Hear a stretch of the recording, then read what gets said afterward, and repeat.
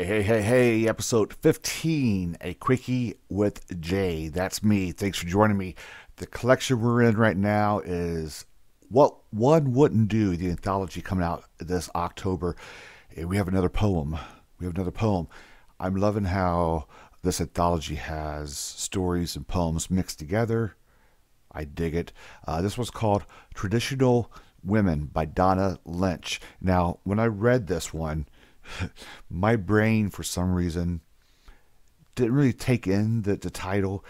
I read the title, but I didn't absorb the title. And as I read the poem, I said to myself, wow, I mean, this really hits home. I'm connecting. Uh, this is the world that we are living in right now. You know, it talked about times are changing, uh, people having things to lose, a lot of things to lose, how hard it is to decide, you know, what will hurt worse, uh, what's most important to you. So I'm reading it, I'm reading it, I'm thinking, yeah, I feel you. I got this. Some of this stuff is, you know, taken for granted. I'm glad somebody's saying this. And then I, I got to the end of, of it. And, and, one cool thing about this anthology, a lot of the writers have uh, little snippets. They tell you about the piece that you just read, uh, some of the meaning behind it, where the stories came from. So I read what Donna Lynch had to say about this piece.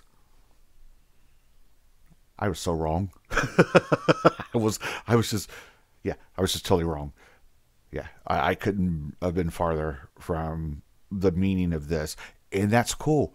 That's totally cool. You know, I'm not telling you this because I was embarrassed. I'm not. You know, I, I feel that is what experiencing new art is all about. You never know how uh, you know something's going to connect with you, how things are going to hit you a certain way, and you can't be scared to jump into something and risk being wrong. You can't be scared to do that.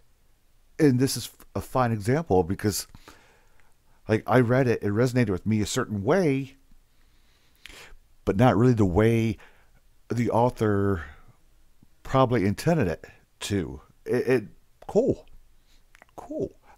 That's what I dig about this.